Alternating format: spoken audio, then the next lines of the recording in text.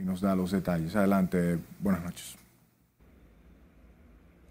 Gracias, buenas noches. Por más de cinco horas fue interrogado Miguel de Jesús Cruz, quien alegadamente confesó el crimen. El Ministerio Público explicó que Cruz de la Mota, de 56 años de edad, cometió el hecho en el despacho de Jorge Mera en el Ministerio de Medio Ambiente.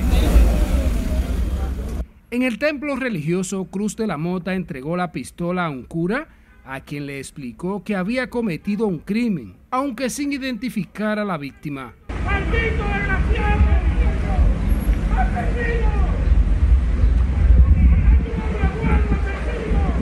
En cuanto tuvo noticia del hecho, la procuradora Miriam Germán Brito dispuso un amplio equipo de fiscales encabezado por la procuradora adjunta Jenny Berenice Reynoso.